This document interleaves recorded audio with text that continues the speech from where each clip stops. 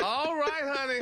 Heidi, girl, my stomach is hurting, honey. But listen, did Jessica Simpson add some juicy tea to the paperback edition of her memoir? That's right, Gary. You know, Jessica Simpson, uh, she's taking it personal, y'all.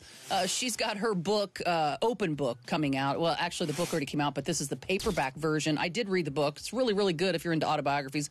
Um, this I did not know, and now I may have to go back and uh, buy the paperback version because she decided to include new diary entries in the paperback release about her ex-husband Nick Lachey. Now, of course, in her book, the original, she talks a lot about Nick Lachey. It's a big part of her life. Her well, it's a memoir. Correct. But she talks about how she felt right after their divorce and and her finding out that Nick was dating his now wife, Vanessa Lachey, just like four or five months after they broke up. I think it's even sooner than that. So I there think might like have been a there months. might have been a little uh, crossover.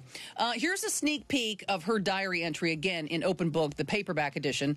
So Nick, you're with another already. Seems that you forgot the love you spoke to me. I'm saddened beyond belief, alone in the dark with no one to call my own. But I think for me, because she's been married to Eric Johnson since 2014, they have three kids. If I'm Eric Johnson, I'm like, we're really, we're oh, still. oh, come on. we're this is still called talk- open book. It's a memoir. And the, Yeah. what we want to hear is what was in your diary. And you don't even remember what was going on back then. I don't think this means that she's still in love with Nick. But he was her first or and her first it- husband. It's not even her rude first. to bring him up. Yes, it's part of her life, and I'm writing a book about my life. So I have to include that. after you got divorced, what's an acceptable amount of time to start dating someone again? If we decide on the date together, it doesn't matter a week, a day. I could go out with Vanessa that night. Like right then, as soon as you get to the paperwork side. You could have a girlfriend pick you up from the signing. I know. I got a date. See ya. I'm calling your sister. What the?